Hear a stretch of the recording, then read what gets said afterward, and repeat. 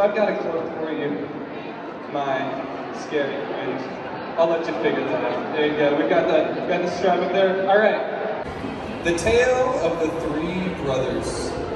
There were once three brothers who were traveling along a lonely, winding road at twilight.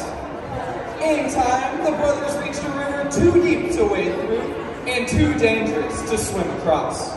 However, these brothers were learned in the magical simply waved their wands and made a bridge appear across the treacherous water. They were halfway across it when they found their path blocked by a hooded figure.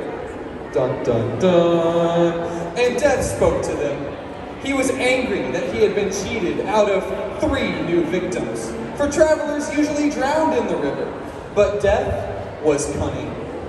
Very cunning. He pretended, he pretended to congratulate the three brothers upon their magic, and said that each had earned a prize for having been clever enough to evade him. So the oldest brother, who was a combative man, asked for a wand more powerful than any in existence.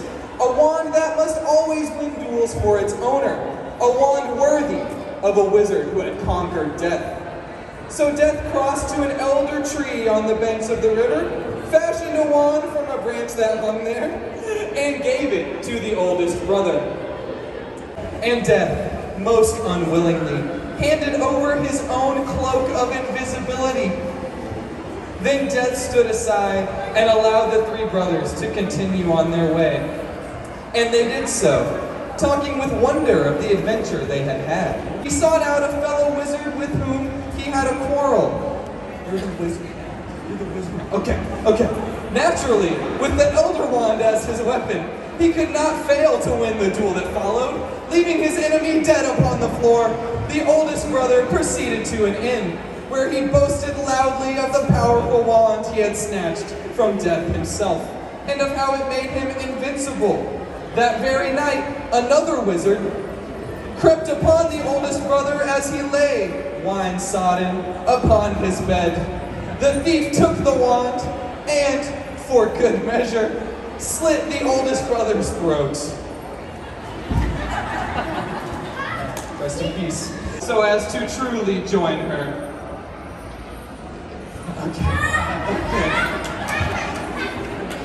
For the third brother, for many years, he was never able to find him.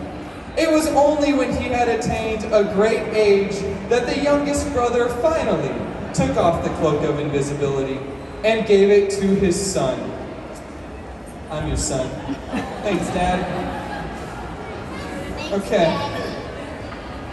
And then he greeted death as an old friend, and they went with him gladly, and equals, they departed this life. The end. Thank you for our wonderful actors up here. Thank you guys so much for helping me out. Hope you guys enjoy the rest of your evening. We'll have another event starting at 6 o'clock right here on the same stage. Enjoy the rest of your night, guys.